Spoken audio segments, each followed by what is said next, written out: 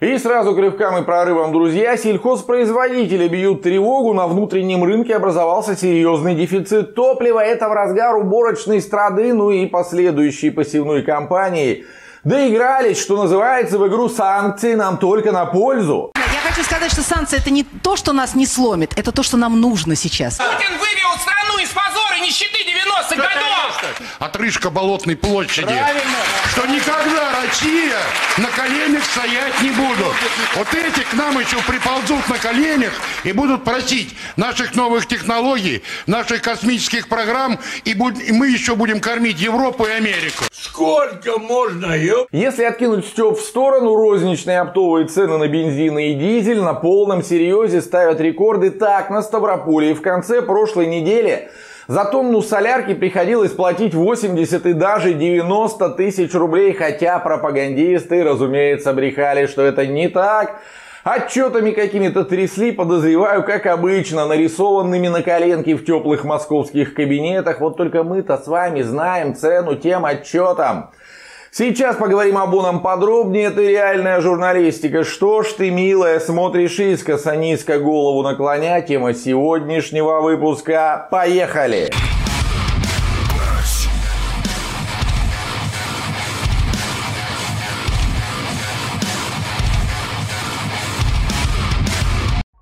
Умиляют официальные версии от нефтяников и ангажированных, по всей видимости, нефтяниками чиновников, мол, дефицит возник, потому что минувшим летом потребовалось остановить работу большинства нефтеперегонных заводов в стране на ремонт НПЗ встали. Ну, так бывает, чего вы удивляетесь. Вот закончатся работы и цены на ГСМ сразу стабилизируются, дефицит исчезнет. Да ладно, серьезно? Че, прям сразу все НПЗ по России ремонтироваться бросились? Прям все-все одномоментно? Да что ты, черт побери, такое несешь? Версия номер два, и она еще более анекдотичная. Нефтяные компании не виноваты. Виноваты все остальные участники рынка, в частности, независимые розничные операторы. Или заправщики, которые воспользовались ситуацией с дефицитом на опте и, значит, решили харю себе наесть под шумок. Такая, в общем, ставшая уже стандартной сказка про плохих злых коммерсов, что, пользуясь нуждой всеобщей, рушат скрепы и регулярно подставляют наше заботливое правительство и патриотично настроенных олигархов. Да я пойду в люк набухаюсь. Нахуй мне это. Вам тоже смешно? Нет, понятно, на кого оно и рассчитано. Глубинный народ даже само слово экономика и то с ошибками пишет. А уж что там происходит на каком-то нефтяном рынке, который работает через какие-то биржи, фьючерсы, трейдеров и бла-бла-бла, это для Вани совсем темный лес. С другой стороны, согласитесь, это же не означает, что народу нужно такую пургу впаривать. Ну, потому что ну, их же не одни идиоты смотрят и слушают. В России присутствует 6 вертикально интегрированных а, компаний, нефтяных компаний, а, так называемых винков. А, Одна из них, а, хоть более-менее какая-то частная, это компания Лукойл. Но она играет по тем же правилам, по которым играют а, и оставшиеся пять. Есть операторы АЗС. Даже часть из этих операторов являются независимыми. Чтобы вы себе просто понимали, у независимых операторов весьма непростая судьба, потому что ну, их они только так могут себя назвать условно. По большому счету они зависят от оптовиков. А оп- оптовики кто? Хрен знает кто! Знаменитая историческая личность. Вот именно, топливо растет не на деревьях. Кроме того, как справедливо заметил господин Потапенко, все оптовые поставщики в стране хорошо известны. И второй момент.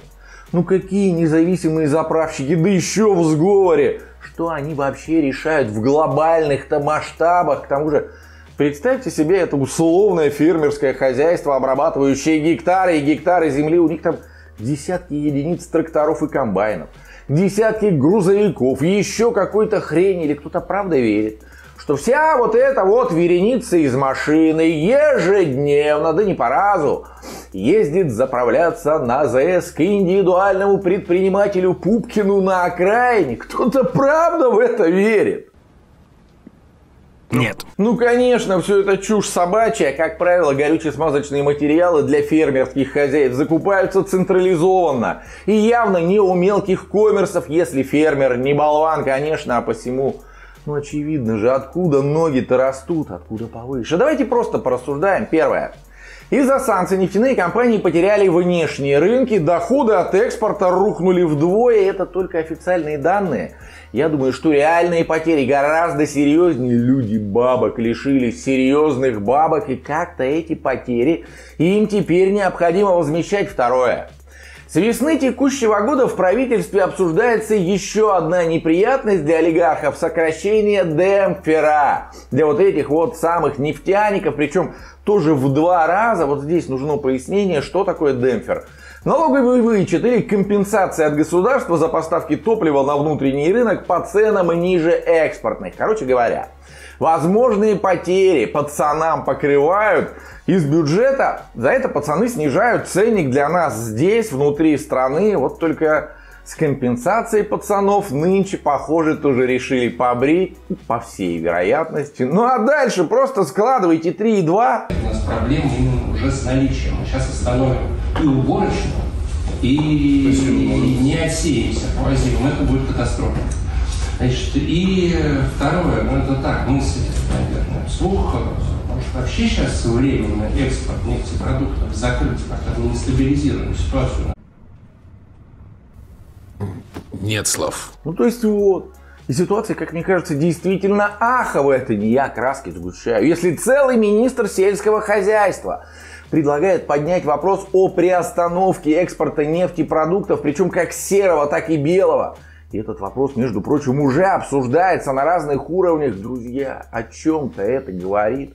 Не хочется произносить вот этого высокопарного речь идет о продовольственной безопасности страны из-за чьей-то жадности, кстати, или правильнее будет сказать из-за возни а внутренние экономические разборки. Ну, это, правда, такой негативный сценарий, я все-таки думаю, что он маловероятен, а вот то, что вся эта история обязательно отразится на ценах, на продовольствии уже очень-очень скоро. Вот по этому поводу могу даже забиться с кем-то из вас. А впрочем, чего забиваться?